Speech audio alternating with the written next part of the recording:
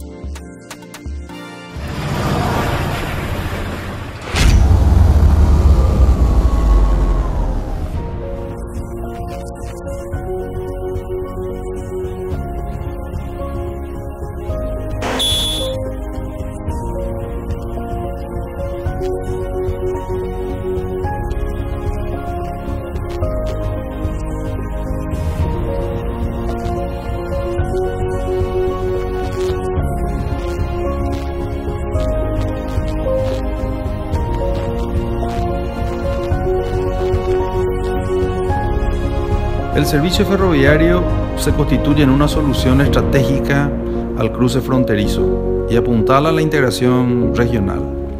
Es una alternativa mucho más eficiente al uso del auto o del ómnibus. Es una respuesta estructural al aumento desmedido de la demanda.